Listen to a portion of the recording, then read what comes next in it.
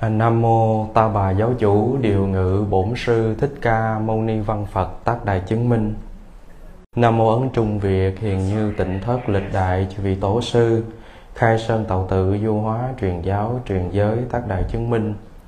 Lời đầu tiên à, chúng con kính gửi lời tri ân đến công đức vàng muôn của quý ni sư chư tôn Thiền Đức Ni, nơi à, trú xứ của Thiền Như Tịnh Thất cũng như ban tinh chuyên hộ tự đã dày công kiến tạo đạo tràng và tạo mộ duyên lành quý báu à, cho chúng con có buổi chia sẻ Phật pháp cùng với à, quý à, đồng hương bà con Phật tử có mặt trong buổi chiều hôm nay cũng như thầy kính gửi lời chào thân ái đến toàn thể tất cả quý vị có mặt trong buổi chiều nghe pháp hôm nay. A Di Đà Phật.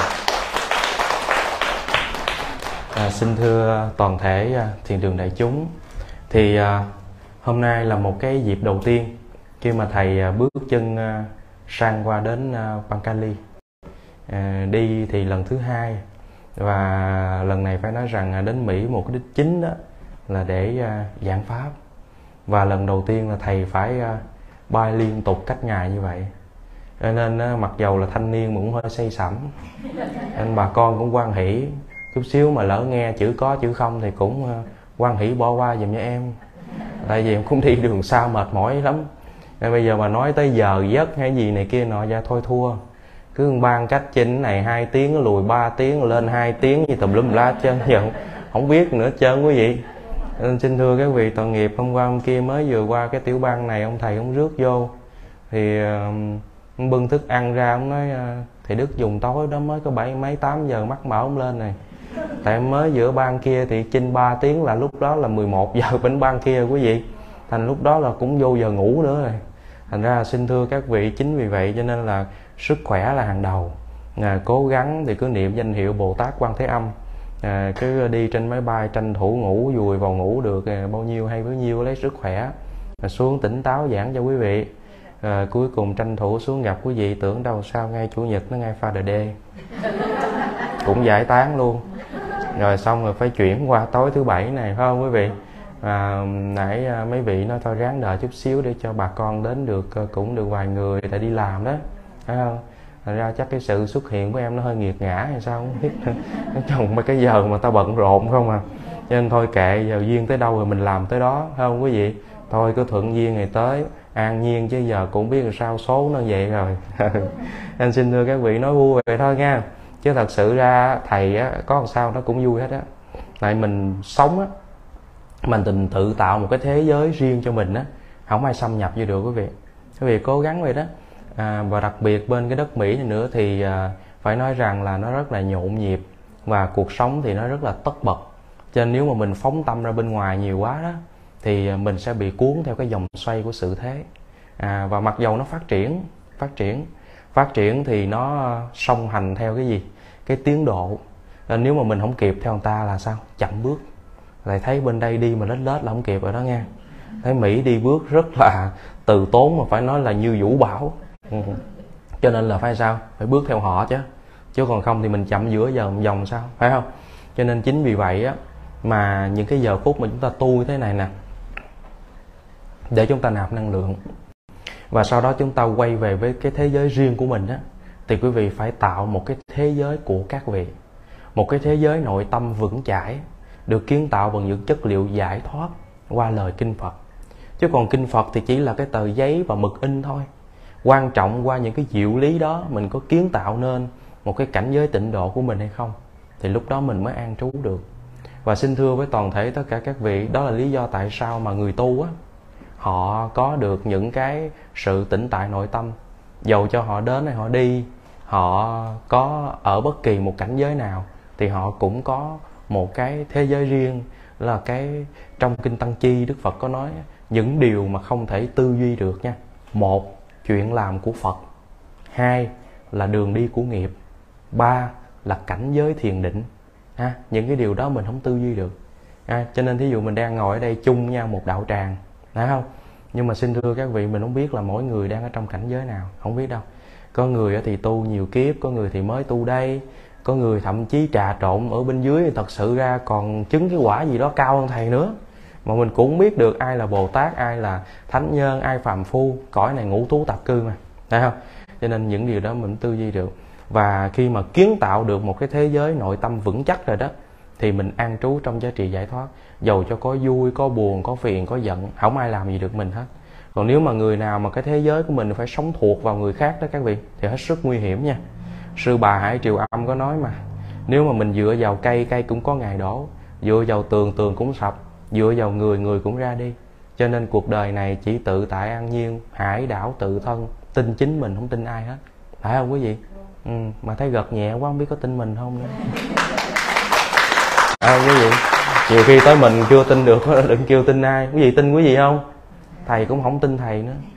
Nhớ nha. Tại vì xin thưa các vị, nói là nói thế thôi, nhưng mà mình phải tin vào sự giải thoát và giáo lý của phật. Chứ không bản thân ta cũng đừng tự đắc quá tin mình. Tại vì khi nào mình có những quả chứng nhất định, thì mình mới được gọi là bất thối chuyển. Căn bản nhất quả gì? Tu đà hoàng, nhập lưu vào dòng thánh. Nhớ, khi nào mà được tu đà hoàng đoạn trừ thân kiến, nghi giới cấm thủ thì vào tu đà hoàng. Còn bằng không là mình đang gieo duyên thôi, nhớ. Cho mình còn hỉ nộ, ái ố, còn bị người lôi kẻ kéo, bị đủ kiểu hết. Chỉ khi nào nhập vào dòng thánh thì mình mới tự tại, mình mới coi như là chắc đó. Từ đó mà đi lên đó, không còn thối lui nữa. Còn bây giờ là ba chìm bảy nổi chín cái lên lên phải không? Khỏe thì tu nhiều một chút mà thì nằm ngủ. Có tiền thì đi từ thiện, còn không có tiền thì thôi đó cho mình đó là rảnh thì rảnh thì sao? Rảnh thì mình phụ à, có dư thì mình giúp. À, còn bình thường thì cũng lo đó mà thân ai nấy lo. À, cho nên đó là lý do tại sao mà mình phải an trú vào trong cái giáo pháp của chư Phật là như thế.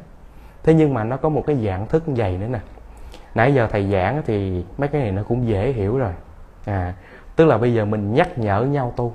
Nhưng mà nó có một cái dạng thứ hai đó là tu quá chịu không nổi nó kiếm cái người tu á thì khó. Mà cái dạng thứ hai này cũng nhức đầu nữa là cái người tu quá tu. Tu quá tu mà tu nhức đầu luôn tu chịu không nổi. Thì xin thưa các vị đây là một cái trường hợp mà rất nhiều người phật tử tôi bị dướng dướng nhiều lắm. Thì xin thưa quý vị là cái cô này cổ vừa nấu ăn ở trong chùa đó. À, xin thưa đi quay lại mà sao cổ cứ lèm bèm lèm bèm cổ chửi hoài à. Thầy nói ủa sao nay bị sát hội hay gì á con? Hình như hai, ba người hay sao chứ không phải con mà lúc vui lúc buồn vậy, nó không phải. Con vô nấu ăn cho chùa mà ông cứ điện, hoài thì coi nãy giờ muốn đập cái máy điện thoại nó thôi thôi thôi, từ từ. Vô nấu sao mà nêm nếm trong nồi canh sân si vô đó hết trơn trọi. À, chúc quý thầy lên tụng kinh chắc cũng nóng rang hết trơn. Tại ăn cái nồi canh của con chắc sân si. Thì cổ nó, thầy coi, con vô con làm con quả và con đi đâu cứ hỏi đi đâu đi đâu hoài. Rồi cứ điện thoại tới lui. Thì thầy mới hỏi, sáng giờ con đi mấy tiếng rồi? Thì cổ nói con đi từ sớm hơn 8 giờ tới giờ là 3 giờ mấy chiều. Thầy nói thôi để đi, cho phật tử khác làm tiếp, con về với ổng đi. Ủa sao thầy đuổi con về? Tu là tốt mà. Dạ thôi, không không được đâu. Điều này chút ông vốn đốt chùa tới là tốt gì phải không? Quý vị thôi về với ổng lẹ đi cha ơi. Tôi đuổi về liền. À có nghĩa là sao quý vị? Tùy trường hợp phật tử. Chứ không phải ai là thầy cũng kéo vô đâu, không có đâu. Mình tu là mình phải khuyến tấn để cho người ta có an lạc, giải thoát. Và tùy mỗi trường hợp gia đình. Có nhiều phật tử ngộ nhận tu là tốt, công quả là có phước. Và xin thưa các vị, căn bản việc nhà làm chưa xong. Nhớ chỗ này quan trọng. Và có nhiều khi tự nhiên mình gây một cái ác cảm cho những người thân hữu trong gia đình của mình. Phải không quý vị? Và họ sanh ra một cái ác cảm thật sự ra không phải. Như vậy thì giữa việc nhà và việc tu, cái nào quan trọng hơn? Cái nào quan trọng hơn? Dạ hai cái chị ơi. Hai cái, tại chị không phải giống như em. Em là em là cạo tóc là em bỏ hết rồi đó. Phải không? Còn xin thưa các vị là các vị tu nhưng mà sao? À tôi là một đứa con lai, nửa lai, tịnh độ, nửa lai tà bà. Phải không? Tức là cũng muốn tu, nhưng mà mình vẫn còn cái gia duyên cuộc sống. Cho nên phải đặt lên bàn cân chứ cho nên mình phải vừa có cái sự chu toàn cho cái cuộc thế của mình và sau đó thì mình mới dành những cái năng lượng bình an để mà tiến tới tu tập, phải không? Cho nên đó là lý do tại sao thầy đến buổi giảng của các vị chiều hôm nay chia sẻ qua bài pháp ngắn để mình cùng quán niệm trên đường tu, để mình an lạc hơn, hanh thông hơn và đi dài lâu không có bị vướng vấp nha. Các vị cùng nghe với thầy quan bài pháp ngắn được mang tên đó là giải thoát và trách nhiệm. A đạo phật. Thầy xin thưa toàn thể đại chúng vậy đại chúng nói thầy nghe coi sao là giải thoát sao là giải thoát? Ha? Giải thoát có nghĩa là mình cởi trói. Ở trong đây cái giải thoát căn bản của cái con đường tu tập là phải kể qua tứ thánh quả. Từ tu đà hoàng, tư đà hàm, a la hàm và a la hán qua tứ thánh quả, phải không? Mà tại sao chứng được tứ thánh quả? Là cởi được 10 cái sợi dây, được gọi là 10 cái kiết sử trói buộc con người của mình. Nhớ không? Thân kiến nghi với cấm thủ, tham sân si mạng nghi ác kiến. Phải không? Mình cởi từ cái gì? Sơ quả thì bỏ được thân kiến nghi giới cấm thủ. Nhị quả thì mỏng nhạt tham sân. Tam quả đoạn trừ tham sân. Tứ quả thì đoạn luôn cả ngũ thượng phần và ngũ hạ phần. Để 10 kiết sử này trọn vẹn, sạch hết thì mới chứng được các cái quả lành này. Dễ hay khó? Dễ không? Xin thưa các vị, đời này kiếm không ra. Nhưng mà thời của phật á, thì xin thưa các vị là chỉ cần gặp đức phật, nghe một câu pháp là được cái quả tu đa hoàng liền. Nhớ, từ đâu? Từ cái chỗ lòng tin vững chắc, lòng tin kiên cố, dễ lắm. Còn xin thưa các vị, bây giờ kiếm cái lòng tin thật khó. Không sao mà mà mà mà có thể tin được. Tại sao vậy? Tại sao? Ừ, thí dụ như thầy hỏi quý vị nha thầy giảng hay vậy quý vị có tin lời thầy giảng không? Vậy tại sao gọi là không tin? Tin không? Tin. Nhưng mà chút xíu về ai làm mình bực bội mình còn trách lưỡi không? Còn hoặc thí dụ mình gặp những buồn phiền trong cuộc sống á mình còn than không? Còn như vậy thì những lần mình than những lần mình trách lưỡi đó chưa hẳn là sai. Đôi khi đó cũng là cái gì đó mà người ta uh, vô tình người ta hãm hại mình mình cũng uh, uh, phản ứng lại là đúng đó. Nhưng cái căn bản đầu tiên của người tu, còn trách, còn buồn, còn phiền là mình không tin nhân quả. Có phải không? Còn nếu mà mình tin nhân quả rồi mình không có buồn nữa. Tại vốn dĩ nhân quả hồi xưa ừ, bán cây cà rem, bán bó rau quên thói 500 đồng, không mấy sen. Thấy nó ít vậy đó. Nhưng mà đời này nó quay rồi nó kiếm là thành rồi có vốn phải sanh lời, sanh lãi nữa. Thành ra lần nó báo nhiều lắm. À thì mình hiểu vậy. Mình không còn buồn, nhưng mà mình còn trách cứ này kia là mình không có tin nhân quả mình gặp những chuyện buồn phiền trong cuộc sống là không có tin nhân quả. Khi mình tin nhân quả, mình hiểu luân hồi, hiểu bản chất. Vì sao người đến kẻ đi, người vui kẻ buồn, tất cả nó đều có cái nguyên nhân trong cái dòng xoay của tạo hóa hết. Vì lẽ đó cho nên là mình tự tại, vô quá ngại. Mình không buồn nữa. Và quý vị tập được cái tâm này đó, thì cái cuộc đời của mình nó sẽ hanh thông, nhẹ nhàng, đi dài lâu và tiến bước hơn còn xin thưa các vị ờ, mình cứ hỏi tại sao tại sao và tại sao? Ví dụ như bây giờ, tôi hồi nãy tôi có hiềm khích với cô cô mở cửa ra mà tôi không đóng lại giùm, ví dụ như thế. Rồi hai người lời qua tiếng lại, rồi chút xíu vào trong cái mình ngồi mình ăn chung cái mình không có vui. Thì nó cũng có nhân có quả, nó dễ hiểu, phải không? Còn đằng này tự nhiều khi mới đi chùa chung, chưa biết là ai cũng chưa hỏi tên nữa, phải không? Mà sao vô cứ hiềm khích với mình hoài, phải không các vị? Nó, ủa, sao ba này kỳ vậy ta? Không có gì kỳ hết, tại đời trước mình hiềm khích với người ta, đời nay ta hiềm khích lại. Nó có nhân quả nhiều đời. Nó vậy đó các vị. Thành ra cái người mà ta vững tin với nhân quả thì cái người này mới thật sự an lạc và hạnh phúc. Cho nên đây là một cái câu chuyện chứng thật mà ngày xưa tôi còn nhớ khi mà tôi nghe những cái bài giảng của ni trưởng như thủy khi mà ngài còn tại thế đó, thì ngài kể những câu chuyện mà nó thực tế trên bước đường tu của ngài. Tôi thấy rất sâu sắc cho nên tôi nhớ câu chuyện đó, tôi kể lại cho quý vị nghe. Có nghĩa là ni trưởng mới kể lúc đó ni trưởng còn trẻ, rồi bắt đầu đi hành đạo và ni trưởng giảng thuyết rất là giỏi. Thì chính vì vậy cho nên ni trưởng mới đi đến một cái ngôi chùa và ni trưởng gặp một cái vị hòa thượng, một cái vị tăng. Thì ngài mới luận đạo và đàm luận đồ vân vân. Thì qua đó thì à, hòa thượng mới nói rằng, cốt yếu của người tu là cần phải tin nhân quả mà cái căn bản biết mình tu cao, tu thấp gì, mình phải tin nhân quả, thì mình mới an lạc tự tại mà tiến bước tới. Thì lời qua tiếng lại như vậy thì ni trưởng mới tỏ vẻ có một cái tâm nghi. Có nghĩa là nói thì hay đó. Ai nói không được, con nói nhân quả cũng được, con đi giảng thuyết cũng được. Thầy cũng giảng cho con nghe nhân quả. Nhưng mà bên trong trắc ẩn mới hỏi rằng, con không biết thầy có làm được hay không mà thầy nói như vậy vì lẽ đó cho nên ni trưởng mới khởi cái tâm là khởi cái tâm nghi cái vị hòa thượng nó như thế. Và sau đó thì à, ngài mới lui đến về sau và ngài mới quan sát cái câu chuyện nó như thế nào. Thì à, xin thưa toàn thể tất cả các vị thì có một cái tình huống là có một cái chú thanh niên.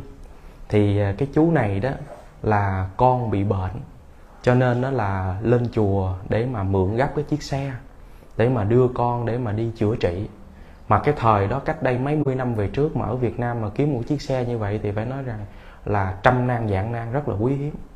Nhưng mà à, vì cái duyên cớ đó mà sẵn sàng cho cái chú cư sĩ này mượn chiếc xe. À, xin thưa các vị mượn thì không bao lâu chạy về. À, lo cho con thì tối tâm mặt mũi thì mặt mày đã trao dao rồi. Mà tới chừng trở về thì giáo giác hơn nữa tại sao mất tiêu chiếc xe? Vô không biết mua thuốc hay khám bệnh làm chứ biết mất tiêu chiếc xe. Phải không? Thì lúc bấy giờ à, mới để ý xem cái vị hòa thượng này ngài cư xử như thế nào. Và lúc bấy giờ nếu mất chiếc xe gặp mình sao cái gì mình quýnh quán hết hoặc mình chửi hoặc mình thế này thế khác phải không? Nhưng mà vị này nó có gì đâu con. Xe cũ đi xe mới nó tới. Thậm chí người ta nói là sao? Ta nói là cái người mà hữu phước á thì tán tài mà vô phước thì tán mạng cho nên hôm nay con đưa con của con đi khám bệnh đó mà con làm mất cái chiếc xe của thầy như vậy nè là tán tài. Cho nên con của con chắc chắn sẽ được sống. Có nghĩa là nó sẽ qua cái cơn nguy kịch này. À, ở đời nó có cái vậy đó các vị? Đôi khi mà mình mất của gì đừng dội lo quá nha. Nó sẽ có những cái chuyển biến tốt hơn nhưng nó âm thầm trong nhân quả mình thấy được. Và từ cái chỗ đó ni trưởng mới âm thầm mà lúc đó vẫn là một cái vị ni trẻ và ngài mới quan sát và ngài xem và ngài mới thán phục và mới thấy rõ ràng đúng cái lời của vị hòa thượng đó nói là có cái cơ sở vì ngài hành được cái nhân quả, cho nên thầy ngài mới khuyên cái người khác là hãy tin nhân quả. Các vị nên nhớ như vậy. Còn tôi với các vị là nói suông. Cho nên hồi nãy tôi mới hỏi các vị là có tin lời của tôi giảng không đó? Đương nhiên quý vị gật đầu rồi, nhưng chưa chắc à biến cố nó tới thì mới biết rằng mình có tin lời phật, tin nhân quả hay không? Mình có còn dao động với cái sự tướng đó nữa hay không? Quý vị hiểu chỗ này chứ? Cho nên xin thưa các vị, ngày hôm nay tôi đi đến hiền như tỉnh thất đó. Tôi rất là vui, nhưng cũng rất buồn. Tôi vui là bởi vì lần đầu tiên tôi được đi đến đây, cái lịch giảng của tôi từ cô ăn hạnh thỉnh pháp, cho đến bây giờ tôi vẫn chưa biết mặt cổ. Từ hồi trước mùa dịch nữa, cô rất là dễ thương khi mà thầy học năm cuối ấn độ rồi, chuẩn bị ờ, để mà về việt nam độ vân là cổ đã điện thoại có liên lạc rồi. Nhưng xin thưa các vị, kéo dài tận đến bây giờ tôi mới sang được. Và các vị biết rằng à, là ni sư trụ trì đây à, ni sư trẻ bên dưới đó. Ngày xưa tôi cũng chưa gặp, nhưng mà chỉ nói chuyện qua một vài đoạn tin nhắn ở trên mạng xã hội thôi. Và cũng rất là khiêm cung, cũng rất là dễ thương. Và cái cảm giác đầu tiên của tôi đó là một cái vị ni tài mà quá trẻ và đặc biệt. Xin phép cái này tôi nói nó hơi kỳ nha. Nhưng thật sự tôi nghĩ sao tôi nói vậy thôi ha. Là tôi chưa gặp một sư cô nào đẹp giống như vậy. Đẹp quá à. Ủa rất là đẹp quý vị đó là cái ấn tượng của tôi mà tôi nói bụng, tôi nói, ủa, sao cô này giống cũng vậy mà cũng đi tu cũng hay quá vậy ta? Tại quý vị biết là trong cái lịch sử của các cái vị tổ ni bên nhật bản á, có một cái vị rất là đẹp và đi đến các cái tinh xá để mà xin xuất gia, không ai cho hết á tại vì đẹp quá đi cho nên cái vị này mới rạch mặt của mình để quyết tâm tu hành. Nhớ nha đẹp mà tu được là rất khó. À không quý vị chứ không hề đơn giản đâu. Nhớ nha quý vị xấu như tôi mà còn bị quần nữa chứ. À, không quý vị khó lắm cho nên là không hề đơn giản mà tôi thấy cổ quá giỏi thì tôi rất là ngưỡng mộ cho nên đó là cái niềm vui của tôi khi tôi được đến đây. Nhưng cái buồn đó là gì? Khi tôi đến đây không còn cổ nữa tôi không còn cổ nữa. Và không được gặp nữa. Và đó là một cái tiếc. Một cái tiếc của tôi nói riêng. Cũng như cái tiếc chung ở trên cái đất Mỹ này cái cộng đồng Việt Nam của chúng ta. Bởi vì cổ không phải là một cái vị ni trẻ chẳng những là một vị ni trẻ một vị ni có cái uh, sự trang nghiêm uh, sắc tướng mà lại là sao? Giỏi nữa. Nhấn mạnh là cô rất giỏi. Theo tôi được biết là như thế. Thì đó là một cái điều nó quá tiếc. Cho nên vừa vui mà lại vừa buồn. Thế nhưng mà cách đây không ờ, lâu đó là cách đây mấy tháng đó thì quý vị biết là tôi có đọc cái lá thơ cuối cùng của ni sư hạnh đoan đó. Khi mà ngài mất đó thì những ngày cuối cùng ngài vẫn à, à, cố gắng trên giường bệnh với một cái thân tướng suy hao mà ngài vẫn gõ một vài dòng ở trên mạng. À, từ bữa giờ tôi đi giảng rồi tôi kể cái lá thơ này ba lần rồi đó. Đây là lần thứ ba đó. Để làm chi vậy? Để khuyến tấn mọi người cùng đọc vì đây không phải là một lá thơ tâm tình, cũng không phải là một lời trăn trối của phàm phu, mà đây là một lá thơ đầy tính tu học và có giá trị nhân văn nói về nhân quả. Rất hay. Quý vị hãy về tìm đọc lại cái lá thơ của ni sư. Hay quá. Cho nên mặc dầu tôi là tỳ kheo tăng, nhưng mà tôi rất là kính ngưỡng những cái vị ni lưu như vậy và ngài nằm trên giường bệnh thân tướng suy hao và ngài nói là có nhiều khi đau đớn và ngài ngài trách bản thân mình, trách cả đời tu tập, trách tại sao mình làm việc thiện, trách tại sao mình viết những câu chuyện nhân quả gần xa ấn tống cho mọi người mà hôm nay bản thân của mình lại chịu cái nghiệp như vậy. Thì phước nó nằm ở đâu? Thì ngài mới trách. Ngài trách xong rồi ngài tự trả lời luôn. Và ngài nói là những câu chuyện nhân quả mà ngài từng viết qua thì đâu đó đã phản ánh nghiệp nhân thời quá khứ. Và lúc bấy giờ tự ngài cũng chuyển qua cái cơn đau của mình trên giường bệnh. Cái lá thơ dài dữ dằn lắm. Nhưng mà cuối cùng ngài kết bằng câu này nói tôi viết những lời này nhằm mục đích khuyến mọi người một đời sống thiện. Cực kỳ khó nha. Như nên nãy giờ tôi quý vị là ngồi nói kiểu là à, mượn lời của người khác đó. Chứ mình chưa hay đâu mình hay là khi nào mà giống như những vị này mà nằm trên giường bệnh mà vẫn có thể tự tại trước tử sanh đó mới đích thật là người tu. Cho nên lúc nãy tôi rất xúc động khi mà tôi nghe ni sư nói đây là từng mỗi khung hình mỗi khung hình mà à, trước khi mà ni sư dự liệu cái ngày ra đi và ngày làm lại hết trang trí lại vân vân từng những cái chi tiết nhỏ tỉnh thất của mình vân vân phải không? Nó thể hiện một cái sự tự tại của người tu. Quý vị nhớ thể hiện một sự tự tại của người tu cho nên xin thưa các vị, mình đến đây mượn tạm. Trước sau gì mình cũng đi á. Quan trọng là đi kiểu gì và đi với tâm thái nào. Đó là cái cách của người tu của chúng ta đó các vị. Chứ ai không đi, đâu phải mình vô mình tu học phật để trường sanh bất lão. Không hề có chuyện đó. Mà trên đời cũng không có chuyện trường sanh bất lão. Nhớ, vua chúa phong kiến à, điều chế biết bao nhiêu loại đó là kỳ đơn dị thảo bao nhiêu loại tiên đơn thần thánh uống vào chết còn sớm hơn người bình thường nữa. Phải không các vị? Chết còn sớm hơn người bình thường nữa. Các vị nên nhớ rất rõ. Bởi vì sao vậy? Khi mà ý y vào những cái loại đó và xin thưa các vị và mình không có một đời sống lành mạnh đó có không thể nào mà sống lâu được. Nên các vị biết là chúng ta bên mỹ chúng ta có những cái thực phẩm chức năng phải không? Chúng ta uống là phải nói rằng ai mà qua đây mà đi du lịch hay gì là về là mấy cái vali mà thực phẩm chức năng, phải không các vị trước khi mà tôi đi qua đây thì cũng nhiều người gửi mua, tôi nói, no, cho tôi đi thông thả thì tôi có sách cái gì hết trơn trọi tôi mệt mỏi dữ lắm rồi, cuộc đời tôi quá mệt mỏi rồi. Rồi giờ ờ, để cho thầy đi mỹ vài tháng, cho tôi thông thả thì bọn kêu tôi mua mua ba cái thuốc men gì nữa. Nó sao vậy thầy? Nó trời đất ơi việt nam giờ có thiếu gì đâu mà kêu tôi mua sài gòn giờ đủ hết trơn trời trả thêm mấy đồng nữa, có thôi. Tội nghiệp cũng thầy sách về, nhưng mà ý thầy cũng nói là gì? Uống không có kịp là nó hết đá. Phải không? Điều thứ nhất, điều thứ hai nữa, xin thưa các vị, mình cũng không cần phải phụ thuộc vào thực phẩm chức năng quá. Tại vì khi mà mình phụ thuộc, mình sẽ có cái tánh ỷ lại. Và cái con người mình vậy đó, mình có cái tánh ỷ lại nha cho nên xin thưa toàn thể tất cả các vị vua, chúa ngày xưa mà sở dĩ chết yểu là tại vì cứ ý y vào trong ba cái cái tiên đơn thần thánh dược đó. Có ai mà thoát khỏi cửa tử sanh đâu. Là ý y vô mấy cái đó, phải không các vị? Đó. rồi thực phẩm chức năng nè. Rồi những người mà à, không có cho mình được một cái lối sống lành mạnh. À thì xin thưa các vị. Cho nên là phải có một cái chất liệu từ trong chính cái nội lực của mình, chứ không có cầu mong cái gì ở bên ngoài cả các vị nên nhớ là như vậy.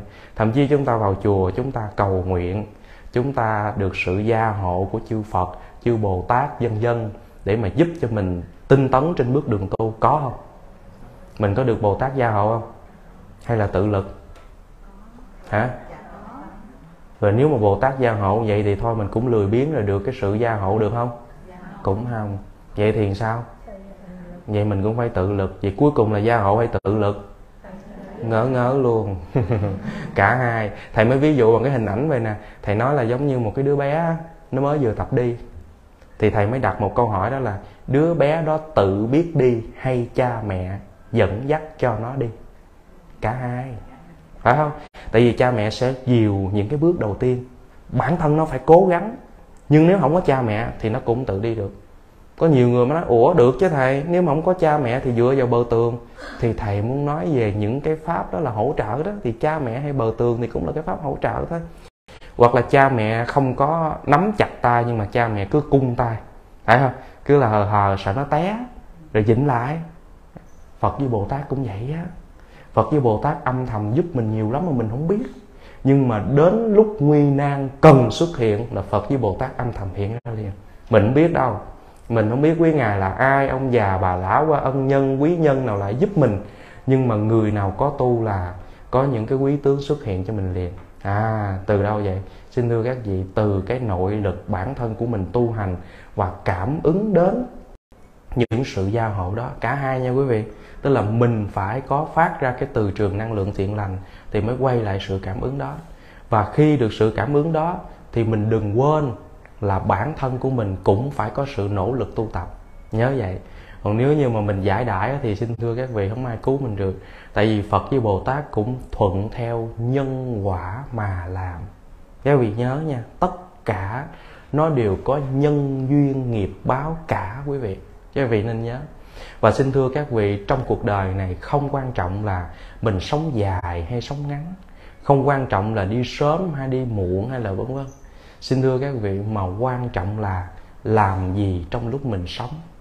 Thầy hay quan niệm vậy đó. Ở đây các vị có sợ đi sớm không? Trời, thầy nói ghê quá, con không dám trả lời luôn. Phải không quý vị? Mà xin thưa các vị, đó là sự thật á. Tại vì á, thầy quan niệm vậy nè. Hôm nay thầy à, mới có ba mươi mấy tuổi thôi. Nhưng mà thầy sẽ cố gắng, thầy nỗ lực, thầy có thể ban bố pháp hay là thầy đi gần xa, thầy làm phật sự được bao nhiêu, thầy cố hết sức mình tại không biết là ngày mai cái sức khỏe mình có hay không, hay điều kiện, hay này kia kia nọ. Cho nên xin thưa các vị, thầy làm sao mà nếu như mà thầy ờ, được mà ờ, đến cái tuổi thọ đó, thì phải đến 60 mình phải rảnh rang để nhập thất tu tập. Này, cái đó mới ngon ạ. À. chứ còn tới 60 mà vẫn còn lụm cụm mà đi đến đi lui mà vẫn bưng từng tô hủ tiếu cho phật tử là thôi. Tức là thua, tới đó là phải có cái dữ liệu cho mình. Tức là mỗi đời người nó có từng giai đoạn giai đoạn trung niên giai đoạn lão điên vân vân. Nhưng quan trọng để cuối cùng mình đạt được cái gì của cuộc đời này. À, chứ không phải là sống ngắn hay sống dài hay vân vân không có. Phải không các vị? Vì sao vậy các vị? Vì xin thưa các vị mỗi thời nó có một cái nhân duyên. Vào thời của đức phật còn tại thế có một cái anh thanh niên này nè là xuất thân trong một cái gia đình bà la môn cao quý. À, và xin thưa các vị và anh ta à, nghe cái danh tiếng của đức phật đã lâu cho nên là cái vị này mới quyết tâm là đi tìm cầu đức thế tôn để mà học pháp. Nhưng mà ngày xưa đi bộ chứ đâu có máy bay, cũng đâu có di động giống như mình. Cho nên đi rong ruổi qua một độ dài thời gian để mà tìm kiếm đức phật không phải chuyện đơn giản. Tại đức phật thì ngài cũng đi du phương giảng pháp. Rồi anh này chỉ nghe danh tiếng của đức phật, rồi cứ là rời khỏi xứ sở quê hương đi tìm kiếm, chứ không biết đức phật ở đâu. Thì đến một hôm đó, đến một hôm đó thì anh này mới mệt và dừng chân nghỉ lại nơi ờ, gian nhà của một người ven đường. Và cũng đồng thời lúc đó, đức thế tôn cũng quá bộ đến nơi đó và dừng chân nghỉ lại ngôi nhà đó. Thì người gia chủ mới sắp xếp cho đức phật nghỉ cùng với anh ta trong một gian phòng. Và trong đêm đó thì hai người mới trò chuyện với nhau. Và vị này hết sức là sửng sốt khi nhìn thấy được một sắc thân tươi đẹp phải nói là sáng rực của đức như lai rất trang nghiêm và tố hảo. Vì vậy cho nên mới đến để mà thỉnh pháp và gọi nhau bằng những danh từ là hiền hữu hay là những cái vị uh, mà uh, triết gia ở trong cái thời xưa ngồi đàm luận với nhau. Thì cuối cùng thì đức thế tôn mới hỏi uh, ngài quả thật là có cái có cái tâm mộ đạo mà ngài đi đâu vậy? Uh, thì anh thanh niên mới nói rằng tôi kính ngưỡng ngài thích ca mâu ni sĩ đạt tha con dòng họ thích xuất gia à, và à, đi để mà cầu đạo nơi ngài. Lúc đó đức thế tôn nói ta chính là thích ca mâu ni đây. Anh này sửng sốt anh hết sức xúc động. Nó không ngờ là một cái người mình tìm kiếm bấy lâu nay mà đang ngồi trước mặt mình. Xin thưa các vị là trong kinh văn thả là cái niềm vui sướng tột độ của anh. Và xin thưa các vị là chứng đắc sơ quả. Và lúc bấy giờ thì anh mới xin xin như lai hãy cho con tu vào trong à, giáo pháp của đức như lai tu lên bậc trên trên con đường giới và luật của đức phật. Thì lúc đó đức phật đồng ý không? Đồng ý. Và đức phật nói được ta sẽ nhận con. Nhưng mà theo luật của ta đó thì phải có đủ ba y một bát. Con hãy đi tìm đủ ba y một bát đến đây thì ta sẽ truyền trao giới pháp. Thì lúc bấy giờ anh ta mới bước ra và anh ta đi tìm ba y một bát thì xin thưa với các vị khi anh ta bước ra anh ta bị một con nghé hút chết. Con nghé là con gì? Hả? Ờ à, con trâu con. Con bê mấy con bò con. Con nghé là một trâu con chứ không phải con trâu lớn nữa. Một con nghé hút chết. À, cái câu chuyện này được ghi trong kinh điển nha quý vị. Nhưng mà quý vị phải nên nhớ á, là tỳ kheo có đến 8 hạng tỳ kheo có nghĩa là thời của đức phật có một cái hạng tỳ kheo rất là đặc biệt, là không có cần giống như quý thầy, quý sư cô bây giờ phải cạo tóc, rồi phải ca sa, bình bát, đi thọ giới giới đà, không cần. Có một cái hạng tỳ kheo đặc biệt đó là thiện lai tỳ kheo.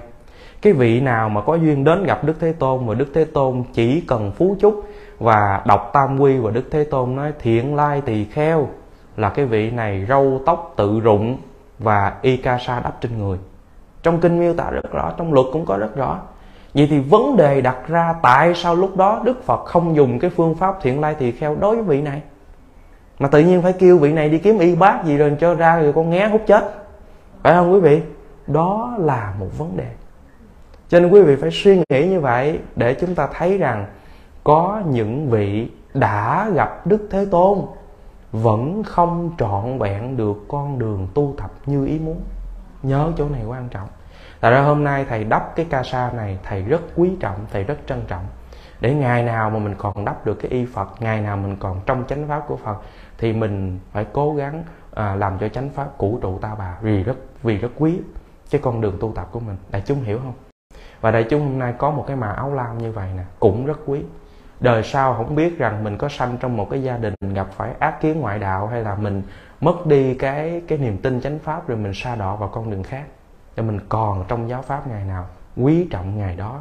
Ở đây thầy muốn nói tới cái vấn đề đó là chúng ta vẫn còn trong cái con đường tu tập ngày nào thì mình sống hết mình ngày đó. Chứ không có quan trọng là mình đi sớm, đi muộn hay là mình đi về đâu, vân vân. Mà mình phải biết rằng những gì mình đang làm hiện giờ, nó là những cái duyên lành từ muôn kiếp để cho chúng ta có cái sự tu tập và hiện diện ngày hôm nay. A di đà phật. Và xin thưa toàn thể tất cả các vị. Với đầu đề thầy nói đó có những vị á, không có quý trọng và có những vị á, quá quý trọng cho đến bị cuồng tính đó các vị. Có nghĩa là mình tu mà nó gây đến cái sự ảnh hưởng của mọi người hay là làm cái trắc trở ngay trong chính cuộc sống của mình. Vậy chúng nhớ nha thì là do cái vị này không có căn bản phật học. Cho nên đôi khi mình nghĩ rằng mình tu mình tu mình tu, phải không? Nhưng mà kỳ thật ra không phải đâu. Cái người tu á, họ dung hòa giữa đạo và đời.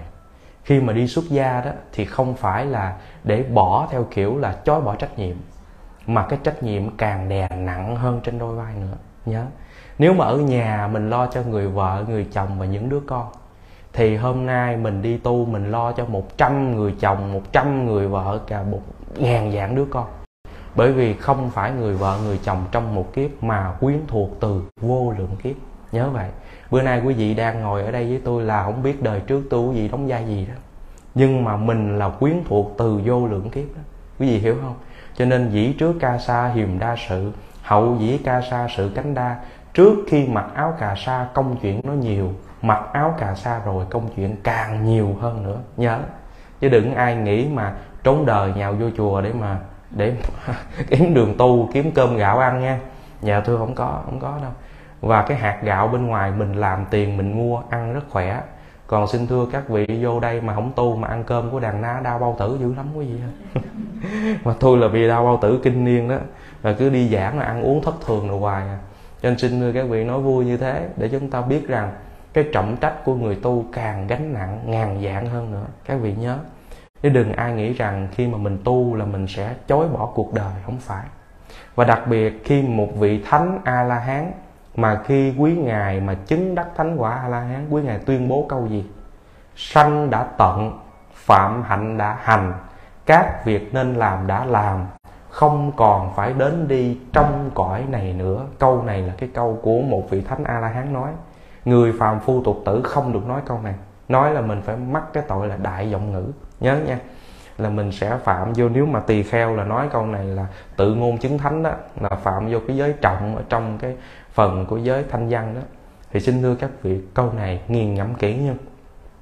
Sanh đã tận, phạm hạnh đã hành, các việc nên làm đã làm, không còn đến đi trong cõi này nữa, mới là thánh a la hán giải thoát có nghĩa là sự ràng rịch trong tam giới và các cái duyên từ vô lượng kiếp tới giờ không còn dính mắc nữa. Cái vị đó mới có thể đi được tự tại trong luân hồi sanh tử. Tôi với các vị được không? Không nha các vị. Mình phải khẳng định là không vì cái duyên của mình còn ràng rịch ở đây rất nhiều. Nhớ vậy. Mà nếu mà mình không có ổn thỏa trước sau á, thì mình đi nó càng bị vướng vấp rất nhiều. Và tôi đã gặp rất nhiều tình huống của rất nhiều người phật tử rất ham tu nhưng rất dội vàng rồi nửa đường gãi gánh. Nhớ nha, đi tu mà nửa đường gãi gánh, tại sao vậy? Tại còn nửa cái gánh ngoài đời. Nó móc ngược trở ra. Nó cực khổ vô cùng. Nó bị nhớ à xin thưa các vị, và trong cái lịch sử của thiền tông đó, truyền thừa theo các đời của tổ sư đó thì đặc biệt có một vị tổ sư với giai thoại và ai học Phật cũng biết đó là tổ sư tử. Tổ sư tử là một cái vị tổ sư có biện tài thuyết pháp. Và lúc bấy giờ thì gặp vào trong một cái thời buổi biến loạn, tức là cái vị vua này không có hộ trì chánh pháp, nhớ. Và lúc bấy giờ thì mới bắt tổ, và tổ mới giảng thuyết cho vua nghe. Tổ giảng về các cái luận cứ Phật học khổ vô thường vô ngã. Các vị nghe tin hiểu không? Tin nhưng mà bây giờ ông vua này ông làm khó. Ông hỏi ông nói này, hòa thượng, nếu như ông nói là vô ngã, vậy thì ông có dám chặt đầu dân vua không? Tổ sư tử chặt đầu dân vua. Nhớ nha tổ á, ngài biết cái duyên lúc đó là phải trả nghiệp, chặt đầu dân vua. Nhớ. Rồi, cái vị thứ hai nữa căn bản để chúng ta cùng quán chiếu đó là tổ huệ khả, nhị tổ huệ khả là đệ tử của sơ tổ bồ đề đạt ma khi mà truyền thiền tông sang trung hoa. Tổ huệ khả khi mà cầu đạo ở à, cái động mà để mà giữa trời mưa tuyết mà cầu đạo với tổ bồ đề đạt ma ngài phải chặt đứt một cánh tay rồi phải không? À để mà ngài đoạn hết các cái duyên à, trước đó. Vậy mà sau đến cuối đời của tổ sư đó ngài vẫn ung dung tự tại và mới chào các hàng môn đệ và ngài mới nói rằng đó là ta còn một nơi cần phải đi hóa độ. Và ngài đến cái vùng đó, và ngài hóa độ thì người ta mới gây cái án quan cho ngài, và ngài mất ở trong ngục tối. Như vậy thì tổ biết ngài mất không? Biết. Nhưng mà cần phải trả nghiệp để cho xong cho viên mãn, tổ cũng đi đến đó ung dung tự tại. Cho nên xin thưa các vị, chuyện của người tu đó thì sống chết nó nhẹ tợ lông hồng quan trọng là chết kiểu gì đi như thế nào và cái quan trọng là tự tại ung dung trước sanh tử. Đó là điều mà thầy muốn nói với các vị. Nó khác hơn so với người thế tục. À, mình rất là sợ chết. Mình rất là lo lắng về cái chết nhưng mình không có một sự chuẩn bị gì cho cái chết. Nhớ. Còn người tu ung dung tự tại thấy vậy đó. Cứ nói chuyện qua lo qua lo nhưng mà rất là chú tâm về cái chết làm sao cho có một cái chết giải thoát, cho mình được viên mãn. Cho nên đó là những điều mà chúng ta học tập từ các vị tổ sư A Di Đà Phật. Và xin thưa với các vị, và trên cuộc đời này đó, thì kinh Hoa Nghiêm mới dạy chúng ta rằng, bồ đề phiền não tại mà sanh tử niết bàn trung. Tức là, cái bồ đề này muốn có được thì cũng phải ngay từ cái phiền não mà mình muốn tìm kiếm được niết bàn thì cũng chính từ giữa cái sanh tử luân hồi này mà hiển lộ lên cái thể tánh niết bàn để cho chúng ta mới thấy được. Còn nếu như chúng ta muốn tìm kiếm một cái niết bàn hư vô thì hoàn toàn không có. Niết bàn hay là phiền não, thật chất ra nó chỉ là hai mặt bản chất của vấn đề mà thôi.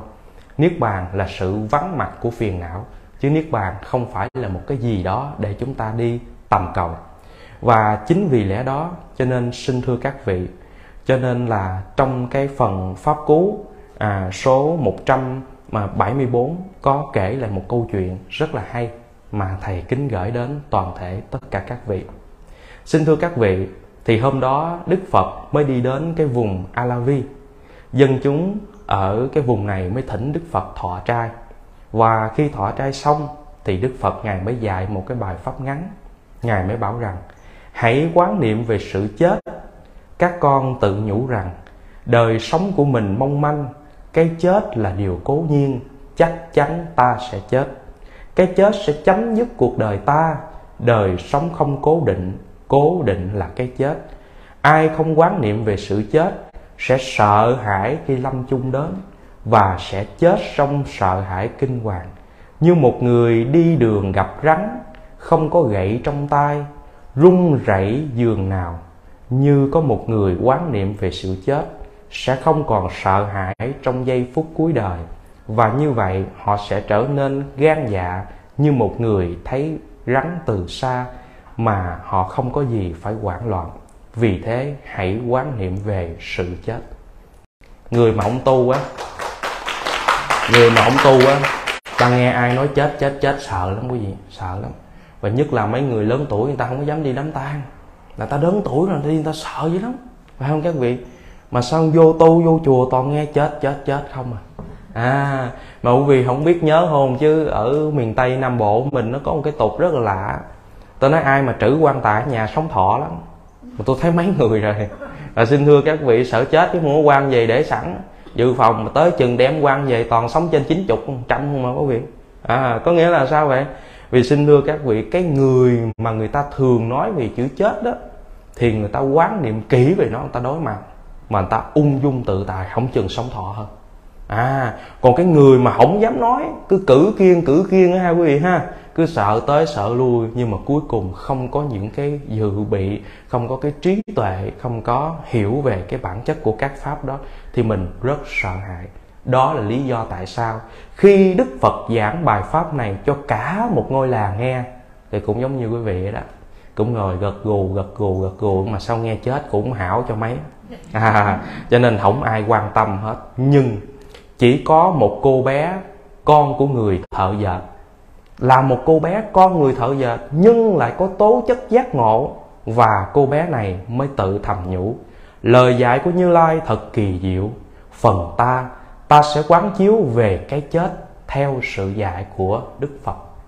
Cả một ngôi làng nghe sự chết chết rồi nghe thì cũng tôn trọng đức phật, nhưng nghe thấy ghê quá, không ai quan tâm hết. Riêng chỉ có một cô bé, con người thợ dệt, quán niệm về cái chết. Và cô bé này quán suốt ngày đêm. Và xin thưa các vị, chẳng bao lâu thì đề mục này đã được cô tập vợt thuần thục trong xuyên suốt 3 năm và đến một ngày đó sáng sớm Đức Thế Tôn Ngài mới quán sát thế gian. Đức Phật đó nha khác chúng ta. Là đầu hôm đó các vị khi mà Ngài ngồi ờ, thiền ở trong rừng đó thì khi mà Ngài ờ, xả thiền ra xả định ra thì Ngài sẽ bắt đầu sao? Trời hừng sáng nó sẽ có ba cái tướng. Một á, là thấy màu lá ở trên cây. Hai là nhìn thấy màu của bầu trời. Ba là đủ độ sáng để thấy chỉ tay trong lòng bàn tay ba cái tướng này được gọi là minh tướng xuất, đúng lúc để đức phật cất bước đi, khất thực, ha. Và không phải muốn quẹo đâu là quẹo nha, và không phải kiếm chỗ nào giàu là đi nha, mà ngài sẽ dùng cái tâm từ bi, ngài quán chiếu. Hôm nay ai hữu duyên cần được ta quá độ. Nhớ vậy đó.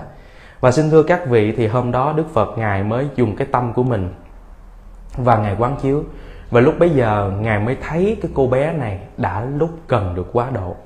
Và ngài muốn tự hỏi rằng là những điều gì sẽ xảy ra và ngài sẽ chú ý đến sự diễn biến và cô bé này từ khi nghe pháp của ta nói đã thực hành quán niệm về sự chết trong 3 năm. Vì vậy cho nên ta sẽ đến Alavi và hỏi cô bé ấy bốn câu. Ta sẽ khen cô ta và sẽ nói những lời kinh pháp để cho cô ta sẽ có thể tinh tấn trên con đường học Phật. Thì lúc bấy giờ ngài mới rảo bước đến cái dân chúng ở xứ Alavi để ngài thuyết pháp. Và xin thưa các vị, cũng như thường lệ đó, thì mọi người thấy Đức Phật thì mọi người rất là quý, cho nên mới thỉnh đức thế tôn về nhà để dân lễ cúng dường.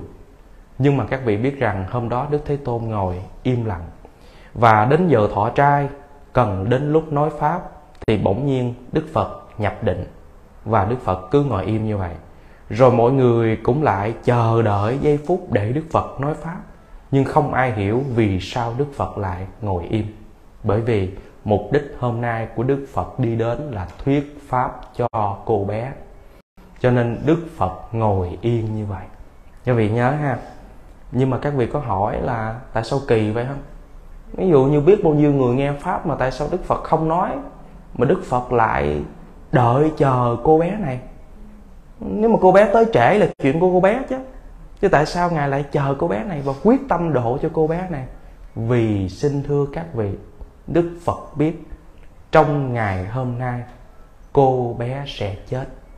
Cho nên đức phật phải bằng mọi cách hóa độ cho một cái người à, thiện tính hữu duyên đã quán chiếu đề mục trong xuyên suốt 3 năm. Và đây là lúc mà Đức Phật cần hóa độ. Nhưng mà cô bé này là con của người thợ dệt. Cho nên á, cái nhiệm vụ của cha giao cho cô ngày hôm đó là phải quấn chỉ đầy các con thôi mà bây giờ chưa quấn xong thì không thể nào đi được. Cho nên cô ta rất đắn đo. Ta rất mong muốn nghe được đức như lai thuyết pháp nhưng cha ta đã căn dặn kỹ như vậy cho nên e rằng ta phải ở nhà để làm cho xong mấy con thoi, thì đợi dịp khác đi nghe pháp dạy. Và cô bé, và ngồi ở nhà để đánh đầy các con thoi, trong khi đức thế tôn vẫn làm thinh và nhập thiền định để đợi cô bé đến. Và khi cô bé đã đánh xong các con thoi bỏ vào trong giỏ, thì mới đến xưởng dệt cho cha và mới đi đến nơi để gặp đức thế tôn và cũng ngay lúc đó, đức thế tôn mới bắt đầu mở kim khẩu để mà nói pháp. Cho nên thầy muốn nói rằng, đức phật làm gì cũng có nguyên nhân. Đức phật không làm cái chuyện vô nhân, vô duyên như chúng ta. Đức phật đi cũng có điểm đến, đức phật về cũng có điểm về, chứ không phải đi lung tung như chúng ta. Gặp người cần gặp gặp người hữu duyên. Và lúc bấy giờ, đức thế tôn mới hỏi cô bé những câu như thế này. Khi thấy cô đến, đức thế tôn hỏi con từ đâu đến đây?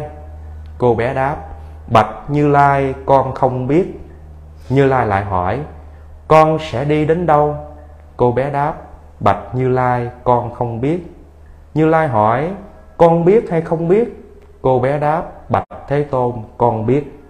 Như lai hỏi, con không biết phải chăng? Cô bé đáp, bạch thế tôn, con không biết. Sau bốn câu hỏi đó, thính chúng ngồi xì xào và bực bội về cô bé này. Chẳng lẽ một cô bé, con của người thợ dệt như vậy mà lại nói những lời trêu ghẹo đức thế tôn? Khi đức thế tôn hỏi, ta hỏi con từ đâu đến, vì sao con trả lời không biết? Thì cô bé phải nói rằng là con từ nhà cha con, người thợ dệt đến đây. Và khi ngài hỏi con từ đâu đến, thì phải trả lời rằng là cái nơi mà mình đã sanh ra. Nhưng lại trả lời như thế, thật là bất kính. Nhưng ngược lại, lúc bấy giờ đức phật lại khen, lành thai lành thai, này con. Con trả lời, đúng câu hỏi của ta. Ngài hỏi tiếp, khi ta hỏi con đi về đâu, vì sao con trả lời không biết? Cô bé đáp, bạch đức thế tôn, ngài cũng biết con đến xưởng dệt với vỏ thôi trên tay, nhưng khi ngài hỏi con đi đâu, con hiểu ý câu hỏi ấy là khi rời nơi đây, con sẽ tái sanh về đâu? Bởi vì cô bé này thực tập cái đề mục sự chết 3 năm. Cho nên đó là đức thế tôn hỏi là liên quan đến đề mục này, những người xung quanh đâu có hiểu. Cho nên đức thế tôn hỏi là con sẽ đi về đâu? Thì cô bé mới đáp là con chưa biết sanh về đâu cả. Cho nên mới trả lời đúng câu hỏi của phật. Lần thứ hai khi ta hỏi con có biết hay không, vì sao con trả lời con biết? Bạch đức thế tôn, vì con biết chắc chắn rằng con sẽ chết, nên con đáp như vậy. Và lần thứ ba, đức phật mới hỏi, vì sao khi ta hỏi con không biết hay chăng thì con lại trả lời không biết? Bạch đức thế tôn, điều con biết chắc là con sẽ chết, nhưng chết vào lúc nào, vào ban đêm hay ban ngày, vào buổi sáng hay bất cứ khi nào, con không thể trả lời hết được. Đức phật lại khen ngợi con đã trả lời đúng các câu hỏi của ta. Xin thưa các vị, đức thế tôn hỏi về sự chết. Những người nào có quán chiếu rõ về điều này mới trả lời đúng như những câu hỏi của đức thế tôn. Và đó chính là một cô bé đã thực tập đề mục này xuyên suốt 3 năm và đã giác ngộ ra được những cái điểm pháp và tự tại an nhiên trước cái đề mục này.